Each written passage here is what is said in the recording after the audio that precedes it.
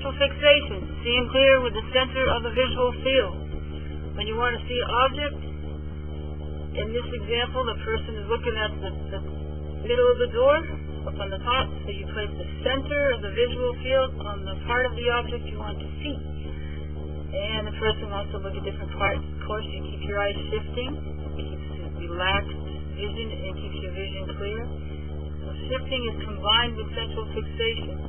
The person shifts, blink, relax, moving that center of the visual field. The center is clearest, clearer than 2020. So use that when you want to see something and you move it from part to part. And that keeps each object, each part you look at perfectly clear. And when you use the center of the visual field, it also improves the clarity of the peripheral. And your eyes can move so easily and quickly that it ends up appearing every part of the object looks perfectly clear at the same time. The whole visual field appears clear. When in reality, the part you're looking at, even if it's only for a second before you move to something else, is clearest, much clearer than 2020. And this center of the visual field is produced by the fovea centralis in the macula, in the center of your retina, in the back of the eye. And that produces the clearest vision, fine detail, and bright color. So, let's see. Around. We'll go to the next one here. Guy, he's decided he wants to look at the tree, so he moves his visual field to the center, and this is the peripheral out here. So he moves the whole visual field. This is your visual field, this is the center, this is the peripheral. So he moves the whole visual field, center of attention. He just moves the center and everything else goes along with it. Now he's looking at the tree. See the center, the green dot that's on the tree, and he shifts wherever he wants. He moves that dot, the center. So whenever he moves, you move your eyes and your head and your face together. There's a log of shifting with your body. The same direction with the eyes. That keeps your neck relaxed, your body in rhythmic motion. And it improves central fixation when everything's facing the same way on the object you want to look at. Let's see, so he shifts around the tree. You can trace you use the central fixation with your nose feather like we've shown you in the other videos. Trace. When you're tracing, that center of the visual field is just moving right along the object. Tiny point to tiny point. You may cover a thousand tiny points as you're just going along. And you can shift point to point. Number three, he moves to the other side. Tree on the right. Center visual field is on the right. Shifts wherever he wants to. Next one, he moves down.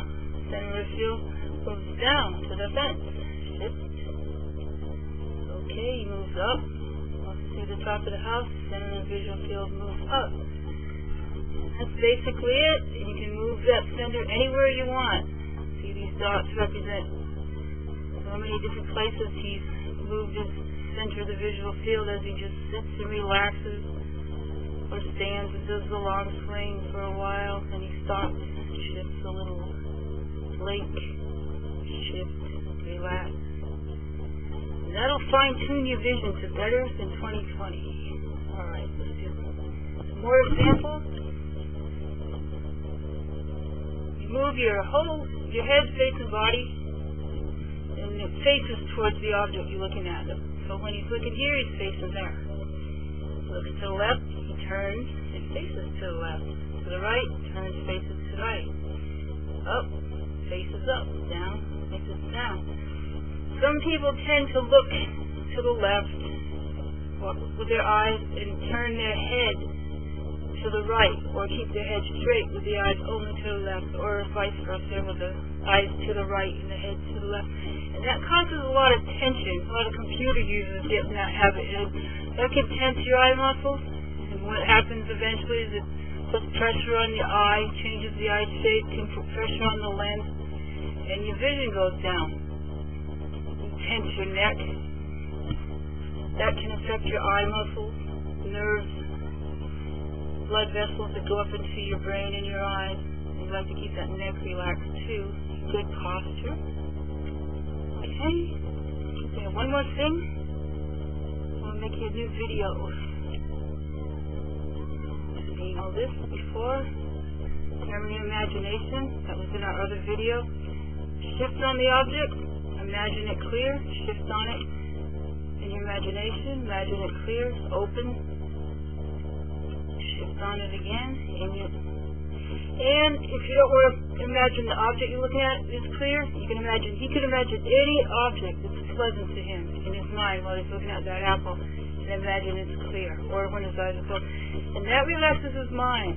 It relaxes his eye muscles, and then he looks, and the apple becomes clear. You can do this on the eye chart too. Now on eye chart or the big C chart.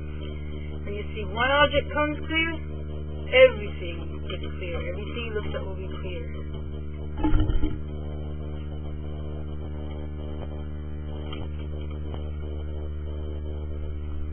Make another.